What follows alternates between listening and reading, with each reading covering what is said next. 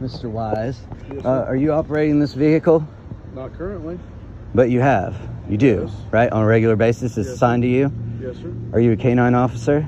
No, sir. So you don't regularly transport canine dogs, do you? No. canine on this? No? Huh? Just answered your question. Do you have a medical exemption? Don't need it. You don't. Really? Not a personal vehicle. It's a police department. Really? And what what what exempts you from the tint law? What do you think exempts you? Carve out for that, sir. No, there isn't. I have the tint. You want the law? I got. No, I got. No, I, I will. I'm going to swear out a warrant with you today. Okay. You ever heard of that? No, I'm going to hang out with you today.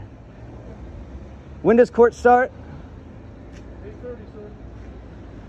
What time? 8:30. Are you going to be there? Yes, sir. Okay. And you don't have a certificate of compliance in the right hand bottom corner of the window. Enjoy your day, sir. And I got some questions about the police report you wrote. Okay. Enjoy your day, sir. Everything in there true? It is. You didn't conspire with John Burgess? No, sir. You sure about that? Positive. Did you have your body camera on when you uh, did, talked sir. with him? I did. All right. Day, sir. Thank you.